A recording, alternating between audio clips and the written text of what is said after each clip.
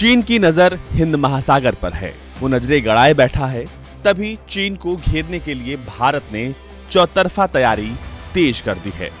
भारत के राष्ट्रीय सुरक्षा सलाहकार अजीत डोभाल ने हिंद महासागर में भारत के पड़ोसी देशों के बीच सहयोग बढ़ाने का आह्वान किया है, ताकि समुद्री आतंकवाद समेत साझा सुरक्षा चुनौतियों का सामना किया जा सके। डोभाल ने अब राष्ट्रीय सुरक्षा सलाहकार स्तर के कोलंबो सुरक्षा कॉन्क्लेव में अब मॉरिशस को भी शामिल कर लिया है। माना जा रहा है कि भारत इसके ज़रिए हिंद महासागर में एक नया क्वाड बना रहा है। मालदीव के उच्चायोग ने ट्वीट करके बताया कि डोभाल ने हिंद महासागर के ज़रिए जुड़े देशों के बीच सहयोग को बढ़ाया जाए, जिससे सुरक्षा चुनौतियों का सामना किया जा सके। मालदीव में हो रहे दो दिन के इस सम्मेलन में भारत, श्रीलंका, मालदीव, मॉरिशस, बांग्लादेश और सेशल्स के एनएसए और प्रतिनिधियों ने हिस्सा लिया।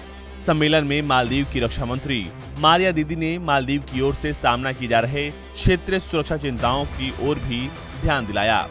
मारिया दीदी ने मॉरिशस की सदस्यता का भी स्वागत किया।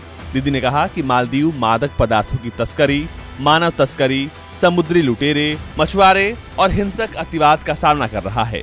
मारिया दीदी ने मॉरिशस की सदस्यता का भी स्वागत किया, जिससे इसमें सदस्य देशों की संख्या बढ़कर चार हो गई है।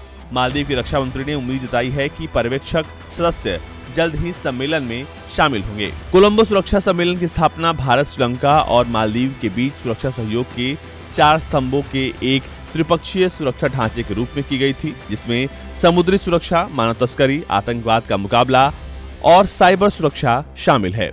पिछले साल नवंबर में भारत, मालदीव और श्रीलंका ने हिंद महासागर क्षेत्र में अंतर्राष्ट्रीय व्यापार सहित इसे सुरक्षित रखने के लिए दो दिवसीय समुद्री अभियान चलाया था। तीनों देशों की नौसेनाओं के जहाज़ और विमानों ने पहले Colombo security conclave focused operation में हिस्सा लिया था।